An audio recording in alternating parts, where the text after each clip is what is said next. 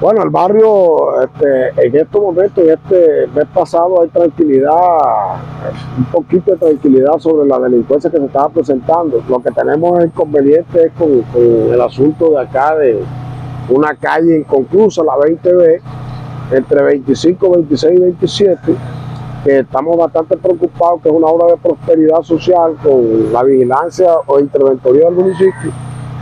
Estamos mirando que le hace falta un tramo de 20 metros y además hay una placa bastante averiada y también unos andenes. Eh, estamos preocupados, tanto la comunidad como la Junta Comunal, haciéndole llamado al secretario de Obras porque él nos comentó que las obras eh, comenzarían el 9 del mes, de este mes que pasó, y hasta la fecha no vemos que han traído ni siquiera un clavo para comenzar de nuevo, y estamos bastante preocupados porque puede quedar incluso la obra.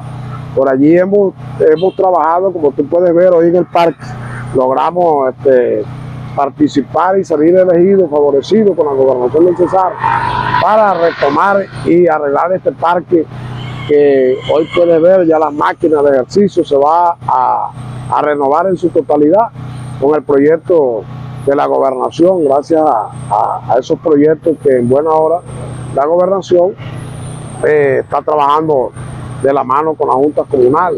Nosotros logramos en la pasada arreglar la sede comunal. Hoy es una sede digna donde nos reunimos ya. Tenemos ahí el grupo de danza. Eh, tenemos muchas eh, calles inconclusas. Otra preocupación que tenemos acá es la alarma y las cámaras comunitarias, que no ha habido poder humano. Se habla de que hay un contrato, pero aquí no ha llegado el arreglo de esta cámara, por lo menos esta que está aquí mismo que no nos presta seguridad en el parque y eso es un problema permanente. Las alarmas, que tenemos unas cinco alarmas y ninguna funciona. Eh, alrededor de acá del sector sí se nos presentan los muchachos estos que son consumidores, no deja tener tranquilidad a los habitantes que visitan acá al parque. Un llamado para las autoridades porque si vamos a mejorar el parque, que no pase lo que pasó anteriormente, que lo envejaron en menos de tres meses. Entonces el llamado es para la misma comunidad y las mismas autoridades, más vigilancia, porque aquí funciona una inspección a 24 horas, un centro de conciliación, el colegio PAR y la misma iglesia que tiene que cerrar sus puertas por la situación que se presenta. Esto es una cuestión muy este, preocupante para la comunidad.